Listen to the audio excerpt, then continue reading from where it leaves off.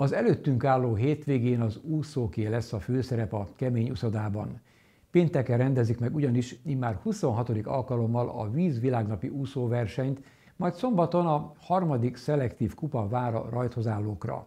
Miután mindkét esemény a sport mellett a környezetvédelemről is szól, így vízben a környezetért néven rendezik meg a hétvége kettős versenyt. Több mint 1200 ilyen rajtot láthat majd az, aki ellátogat pénteken és szombaton a kemény dénes uszadába, ugyanis korlátozott számban már újra jelen lehetnek a szülők, az érdeklődők is az úszóversenyeken.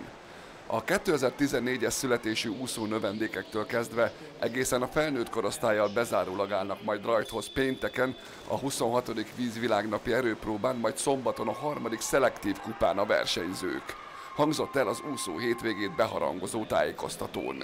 A két napon összesen 321 versenyzőnk lesz, aki, aki rajthoz áll, és 1214 rajtot fognak teljesíteni, ami elég szép szám megszoktuk a, a vízzállapi versenyeknél, hogy mindig nagyon sokan érdeklődnek.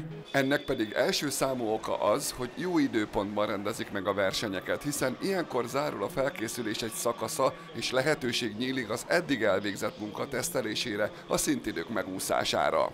50 métertől az 1500-ig két nap alatt 30 versenyszámot teljesít a 17 klub sportolóiból álló mezőny. A szervezők célja, hogy az úszással hívják fel a figyelmet az ivóvíz értékére. A pénteken 14 órakor, szombaton pedig 9 óra 30-kor kezdődő program során. A versenyek érintik a nagy közönséget is, hiszen péntektől a szombati zárásig a keménydénes uszoda zárva tart, és műszaki okokból szintén nem nyitja ki kapuit a hosszú hétvégén a Diósgyőri uszoda sem.